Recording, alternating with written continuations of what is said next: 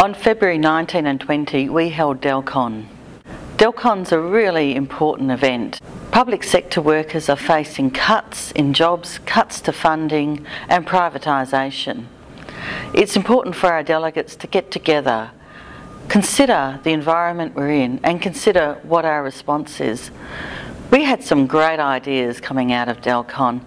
Many, many delegates were enthused and were wanting us to look at a whole range of different issues that we can then respond and get together. We had over 120 delegates attend the Delcon.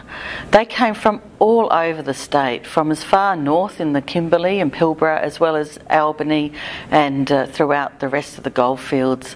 It was fantastic we certainly had so many people who came from all different agencies and occupations who provided some great ideas about what we can do next.